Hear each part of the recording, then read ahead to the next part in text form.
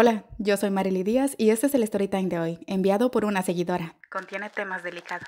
Todo esto comenzó en mi infancia. Yo era una niña muy tranquila, me encantaba jugar con mis Barbies y sobre todo amaba ver una caricatura que se llamaba Los Moments. Me gustaba mucho porque al verla yo me transportaba en ella e imaginaba que vivía con una familia feliz, que se quería y se amaba mucho. Pero la realidad es que entre esas cuatro paredes que eran mi casa vivíamos un infierno al lado de mi papá.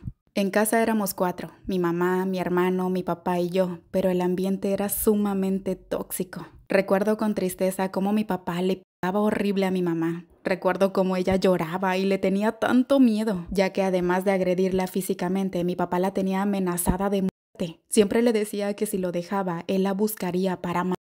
Por eso mi mamá no se atrevía a irse. Por eso soportó tantas cosas. Mi madre temía por su vida y la vida de nosotros. Realmente era un tormento la vida que llevaba, pues nosotros como niños no podíamos ni caernos y rasparnos porque ya mi papá la culpaba y hasta por eso la agarraba a golpes. En esa casa siempre habían gritos, pleitos, llanto y dolor provocados por él. Una vez fuimos a una fiesta y algo le pidió mi papá a mi mamá, pero ella no le hizo caso, pues con eso tuvo para romperle la nariz. Yo lloraba de miedo y tristeza porque me dolía ver a mi madre sufrir. Era pequeña, pero deseaba que algo malo le pasara a mi papá. Incluso llegué a pedirle a Dios que hiciera que se muriera y así acabara nuestro sufrimiento. Pero no pasó. Al contrario, todo aquel infierno estaba por ponerse peor. Esto que les voy a decir a continuación me duele en el fondo de mi alma y se los juro que estoy llorando al escribirlo. Cuando yo tenía siete años, recuerdo que una noche yo estaba dormida en la cama. Mi papá me cargó hasta un baño que teníamos afuera de la casa. Me subió a un tanque y ahí quiso abusar de mí. Cuando me puso en el tanque yo me desperté y al ver lo que estaba tratando de hacer me paralicé. No pude reaccionar, no supe qué hacer. Las únicas palabras que salieron de mi boca fueron, por favor no me hagas nada, papá. Pero no me escuchó. Ese malnacido empezó a tocarme con sus asquerosas manos. Yo me estaba muriendo de miedo, temblaba de miedo y empecé a llorar. Solo era una niña de siete años. Era su hija y me estaba haciendo eso. Esa noche no pudo abusar más de mí, o al menos eso pienso. No sé si me habrá hecho algo más, pero si así fue, quizá mi cerebro lo bloqueó, pero con lo que recuerdo bastó para que le tuviera mucho miedo desde pequeña. Y es que desde ahí empezó mi martirio. Cada noche era un tormento para mí. Me daba miedo el solo dormirme. Ahora siempre me ponía una almohada encima de mí, en mis pechos, en mis partes íntimas y a los lados, y abrazaba a mi hermano en mi intento de protegerme para que ese maldito no me hiciera nada. Pero nada, nada de esto importaba. Él aún así me tocó. Un día me quedé dormida en la hamaca y me levantó algo que empecé a sentir en la boca.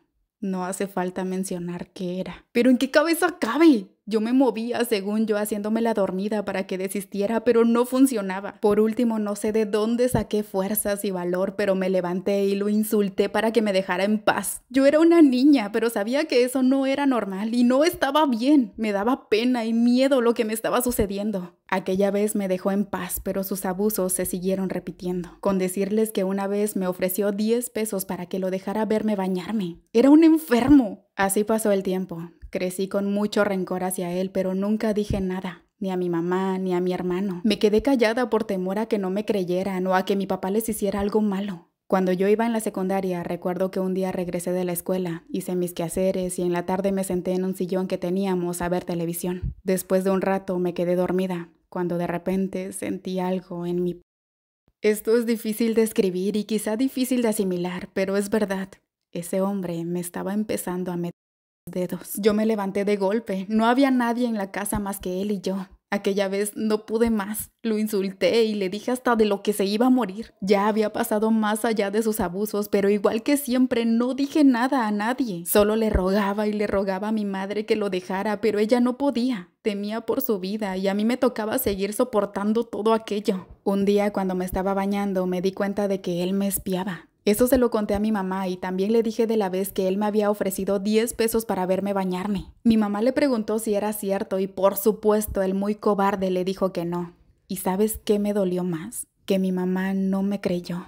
Que mi mamá no lo corrió, no hizo nada. Yo pensaba que esa sería su reacción, echarlo de la casa, insultarlo, enfrentarlo, pero no sucedió. Ese resentimiento me lo cargo hasta ahora. La amo, pero aún no puedo perdonar que no lo haya corrido. Quise decirle de una vez todo lo que él me había hecho, pero no pude. Tiempo después, mis tías y mis primas se empezaron a quejar de que mi papá las espiaba, porque déjame decirte que con el tiempo vivimos con más personas en casa. Todas se quejaban, pero nadie hacía nada. No entiendo por qué.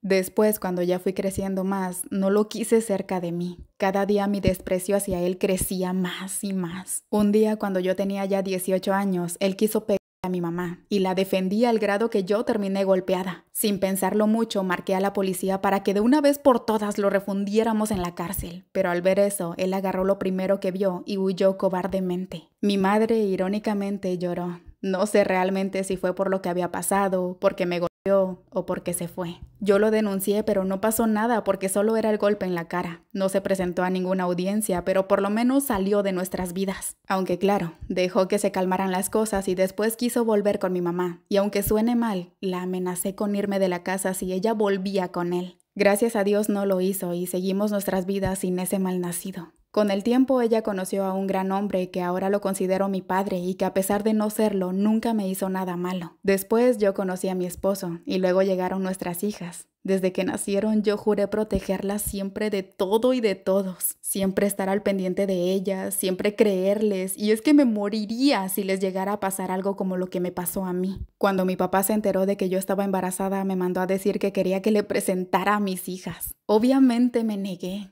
Claro que no iba a dejar que las viera siquiera. Tampoco le acepté nada de lo que él me quiso dar para ellas. No quería ni quiero que se les acerque. Nunca permitiría que ellas conocieran a ese pervertido, acosador y violento. Mi esposo conoce mi historia y tampoco lo quiere cerca de mis hijas ni de mí. Mi familia sabe muy bien cuánto lo desprecio, pero me dicen que no debo ser mala, que él es mi papá, pero ellos no saben todo lo que me hizo. Desgraciadamente, él vive en el mismo municipio que nosotros. A veces me topo con él en la calle, pero no puedo sostenerle la mirada. Aún me da miedo. Aún no he sanado. He intentado tomar terapia, pero me da vergüenza. Me duele recordar todo y de hecho, desde que empecé a escribirlo aquí, me sacó lágrimas. Me duele tanto recordar a esa pequeñita de siete años siendo abusada por la persona que debía protegerla. A mis treinta y tantos años me sigue afectando. Como les mencioné, tengo a un hermano y desconozco si también a él le hizo cosas. Yo sospecho que sí, pero él nunca quiere hablar de eso y lo entiendo. Espero algún día poder superarlo porque realmente, aunque pasó en mi infancia, es algo que no queda ahí. Quienes somos abusadas cargamos con esos miedos toda la vida. Mi esposo me escucha y siempre lloro cuando recuerdo mi infancia. A veces digo, pobrecito de él que tiene que lidiar con este resentimiento porque a veces me pongo mal de la nada. A pesar de todo, confío en que algún día voy a sanar y me reconforta el saber que el padre que tienen mis hijas es un hombre respetuoso, que las ama y que jamás las vería de otra forma. Espero puedas relatar mi historia y sirva para que las mamás estén alertas siempre. Muchas veces esa persona que daña vive bajo el mismo techo, lleva tu misma sangre y le dices papá. Ojalá después de escuchar mi historia decidan siempre creerle a sus hijos y hagan algo al respecto cuando ellos por fin se atrevan a contarles lo que les pasa. Que hagan lo que una madre y un padre deberían hacer, protegerlos.